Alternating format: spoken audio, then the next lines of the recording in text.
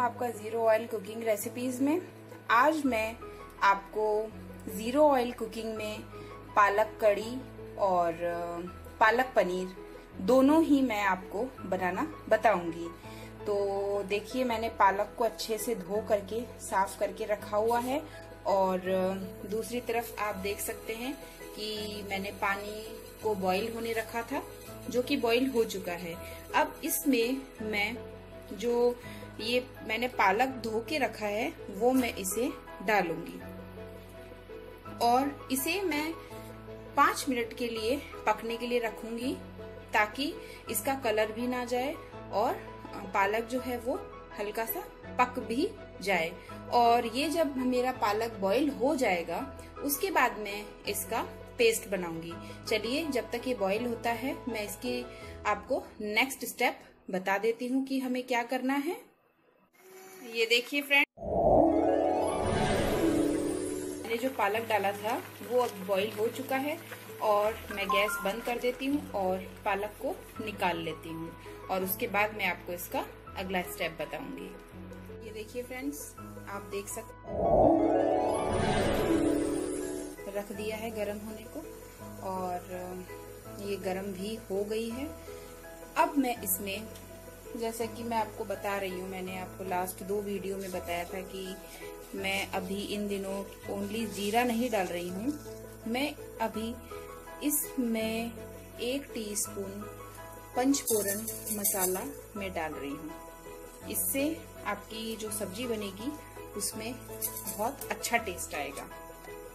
ये मैंने डाल दिया है और इसे मैं अब ड्राई रोस्ट करूँगी। इसे एक मिनट के लिए मुझे ड्राई रोस्ट करना है। जब ये रोस्ट होगा तो इसमें क्रैकल्स स्टार्ट हो जाएँगे। जैसा कि आप आवाज़ सुन सकते हैं कि ये जो मसाला है रोस्ट हो रहा है। और अब मैं इसमें प्याज और लहसुन जो मैंने काट के रखा है, वो मैं इसमें डालूँगी। ये देखिए, और ये मैं इसमें डाल रही हूँ। ये मैंने इसमें डाल दिया है। अब वही सेम प्रोसेस मुझे इसे लगातार चलाना होगा और मुझे इसे ड्राई रोस्ट करना होगा कुछ सेकंड्स के लिए। ये देखिए, और एक मिनट तक मुझे इसे लगातार चलाना है। हल्का सा ब्राउन होने के बाद मैं इसमें वन टीस्पून पानी डालूँगी। और फिर इस प्याज को मैं पकाऊँगी। इस तरीके से प्याज को मुझे वन टीस्पून पानी वन टीस्पून पानी करके डालना है और इस प्याज को मुझे पकाना है। इसमें सारा पानी एक ही बार में आपको नहीं डालना है, नहीं तो सब्ज़ी जो है वो बेकार बनेगी, उसमें टेस्ट नहीं होगा। तो ये देख सकते हैं कि आप एकदम कैसी बन रही है सब्ज़ी ये। आप देखिए कि ये जो हमारे प्याज है, इनका कलर चेंज हो गया है। और इसी स्टेज पे अब मैं वन टीस्पून पानी डालूँगी और फिर इसे मैं पकाऊँगी। चलिए ये जब तक प्याज हमारे पकते हैं, उसके बाद मैं आपको बताती हूँ कि क्या करना है। और हाल फ़िलहाल मैं इसके अंदर वन टी स्पून पानी डाल दिया है मैंने। ये देखिए। और मैं इसे इसी तरीके से पकाऊँगी। आपको भी इसी तरीके से पकाना है इसको। चलिए, जब तक ये पकता है, मैं आपको बाद पाँच मिनट बाद बताती हूँ कि प्याज का कलर कैसा हो गया है और साथ ही उसका नेक्स्ट स्टेप भी आपको बताऊँगी। ये देखिए फ्रेंड्स आप देख सकते हैं कि ये जो हमारा प्याज है, वो अच्छे से अब इसी टाइम पर हमें टमाटो प्यूरे डालना है और टमाटो प्यूरे आप मार्केट वाला जो रेडीमेड है, वो भी ले सकते हैं और घर में भी बना सकते हैं चॉइस आपकी है। मैं अभी इसमें रेडीमेड टमाटो प्योरे डाल रही हूँ। ये देख सकते हैं आप। मैंने इसमें डाल दिया है और इसे एक मिनट में पकाऊँगी। इसके बाद मैं सारे मसाले इसमें डालूँगी और आपको बताऊँगी। चलिए इसे मैं एक मिनट के लिए पकने के लिए छोड़ देती हूँ और इसी में मैं हल्का सा पानी भी डाल देती हूँ। ये मैंने इसमें पानी डाल दिया है। और इसे मैं एक मिनट के लिए पका लेती हूँ। उसके बाद सारे मसाले डालते टाइम मैं आपको फिर इसका स्टेप बताती हूँ। ये देखिए फ्रेंड्स आप देख सकते हैं सब्ज़ी का कलर जो मसाला है। अब मैं इसमें जो सारा मसाला है, वो मैं इसमें डालूँगी। सबसे पहले मैं इसमें हींग डाल रही हूँ और वन टी स्पून जीरा डाल रही हूँ। वन टीस्पून इसमें मैंने गरम मसाला डाला है और वन टीस्पून मैंने इसमें धनिया डाला है। और इसमें अब मैं हल्दी डाल देती हूँ। ये देखिए फ्रेंड्स, अब इसमें मैं थोड़ा सा हल्दी डाल रही हूँ। और इसमें हल्का सा पानी डाल के और इस मसाले को मुझे पकाना होगा। ये देखिए, आप देख सकते हैं। अब इस मसाले में मैं हल्का सा पानी डाल के इसको पका रही हूँ और आपको भी वही करना है कि जब आपको लगे कि मसाला जो है कढ़ाई के तले पर चिपकने वाला है या चिपक गया है तो हल्का सा इसमें पानी डालना है और इसे पकाना है। सेम प्रोसेस है, जैसे बाकी रेसिपीज़ में मैं आपको हमेशा बताती हूँ। ये देखिए। अब मैं इसको पकने के लिए एक मिनट रखूँगी और इस बीच में अगर हमें लगेगा कि जो मसाला है वो कढ़ाई के तले पर चिपक रहा है तो इसमें फिर हम वन टेबल स्पून के करीब पानी डालेंगे और हम इसे फिर से पकाएँगे। इसी तरीके से हमें इसके प्याज और ये जो सारे मसाले हमने डाले हैं, उनको हमें पकाना है। चलिए, जब तक ये पकता है, मैं इसका नेक्स्ट स्टेप कर लेती हूँ और आपको बताती हूँ। ये देखिए फ्रेंड्स अब मैं इसमें इसी मसाले में अपने स्वाद के हिसाब से मैं नमक भी डाल देती हूँ और इसे फिर से चला के पकने के लिए मैं छोड़ देती हूँ। चलिए, जब तक ये पकता है, मैं पालक का पेस्ट तैयार कर लेती हूँ।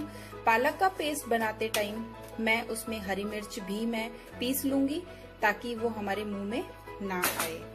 और साथ ही अभी मैं इस मसाले में अदरक को भी कस के डाल देती हूँ ताकि ये मसाला भी अच्छे से पक जाएगा और अदरक भी अच्छे से पक जाएगी। ये देखिए फ्रेंड्स आप देख सकते हैं, मैंने इसमें अदरक को कस के डाल दिया है और अब मैं इसे फिर से दो मिनट के लिए पकने के लिए छोड़ दूँगी। और जब ये मसाला पक जाएगा, उसके बाद हम पालक का जो पेस्ट हमने बनाया है, वो हम इसमें डालेंगे। चलिए मैं इसे दो मिनट के लिए पकने के लिए रख देती हूँ। ये देखिए फ्रेंड्स आप देख सकते हैं कि पाँच मिनट बाद हमारा मसाला इस तरीके का हो जाएगा। और अब हमें इसी स्टेज पर जो पालक हमने पेस्ट बना के रखा है, वो हमें इसमें डालना होगा। और अब मैं इसमें जो पालक का पेस्ट मैंने बनाया है, हरी मिर्च डाल के, वो मैं इसमें डाल रही हूँ। और इसे अच्छे से मिक्स करके मसाले में हमें देख सकते हैं। और ये जो पालक की कड़ी बनी है, इसमें आप पनीर को सेक करके वो भी आप इसमें मिक्स कर सकते हैं। और ये एक तरह से देखा जाए तो आपका पालक पनीर भी बन सकता है। और एक सिंपल पालक कड़ी भी आप इसे कह सकते हैं। मैं आपको दोनों तरीके से ही बताऊँगी।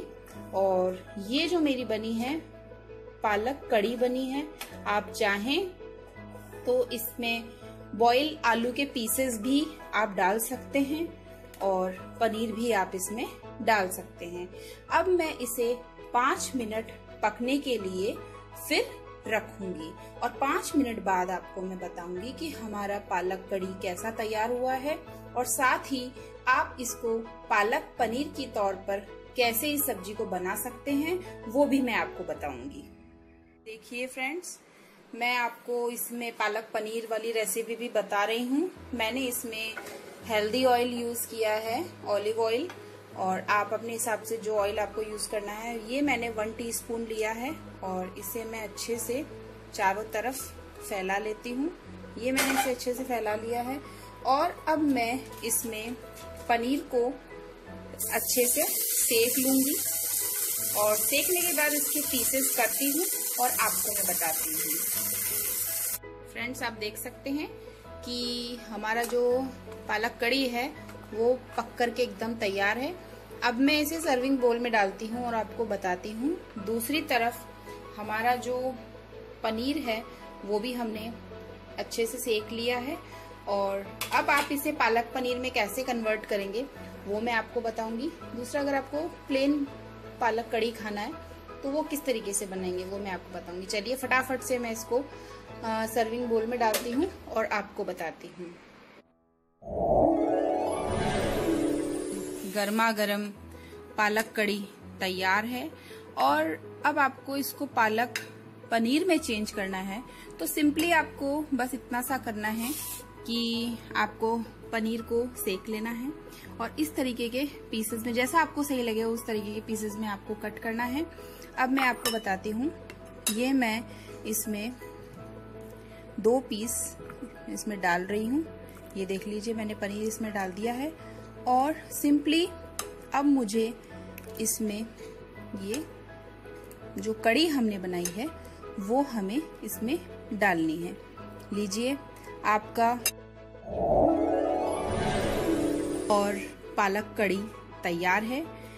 प्लीज़, अगर आपको मेरी रेसिपी पसंद आई हो तो इसे लाइक ज़रूर कीजिएगा, शेयर भी कीजिएगा, एंड सब्सक्राइब भी कीजिएगा। मिलते हैं फिर एक नई रेसिपी के साथ। तब तक के लिए बाय बाय